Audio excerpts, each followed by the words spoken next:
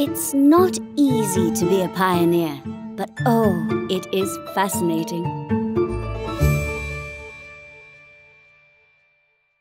Dr. Elizabeth Blackwell was impressively the first female physician in the United States, but the decision to allow Elizabeth into medical school was actually left up to the hands of their student body, which was 150 male medical students. They unanimously voted for it likely because they thought it was a joke. And that began the career of Elizabeth Blackwell becoming a physician. Elizabeth was born in 1821 in Bristol, England. She grew up in a large family, one of nine children. She immigrated to the United States as a young child.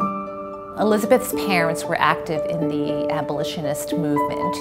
Her family's commitment to the anti-slavery movement clearly impacted Elizabeth's sense of providing care to anyone who needed it, regardless of their race, their ability to pay. Dr. Blackwell had a family friend, Mary, who was gravely ill with cancer. And her friend commented, why not study medicine? Had I been treated by a lady doctor, I wouldn't have suffered so terribly. So once the seed was planted, Elizabeth applied to a variety of schools was not surprisingly rejected by all of them. Thankfully, she did have a mentor who had a connection to Geneva Medical College. What was a lark turns out that she was the best in that class. Although Elizabeth successfully graduated, her battles would continue. There was a stigma, as you can well imagine, about being treated by a female physician. She became very frustrated by that. Being still excluded from medical companionship and from the means of increasing medical knowledge, I finally determined to try and form an independent dispensary. Elizabeth opened her own dispensary, which is a medical clinic in Tompkins Square, an area that really at that time was a slum filled with the indigent, the immigrant, people without access to health care. And she provided even free health care to those who couldn't afford it. Elizabeth deepened her work. She created a hospital to be staffed by women physicians, the New York Infirmary for Indigent Women and Children.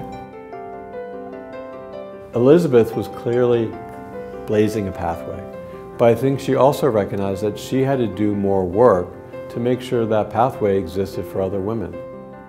She opened a medical college for women, the Women's Medical College, which 30 years later was subsumed into the Weill Cornell Medical College.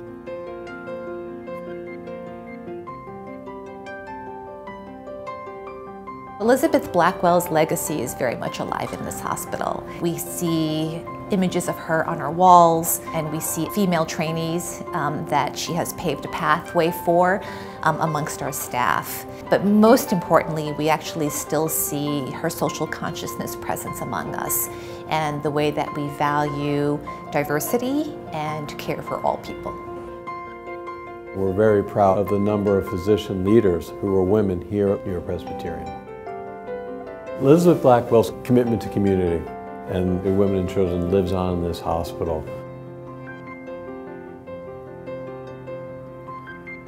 It is hard with no support but a high purpose to live against every species of social opposition.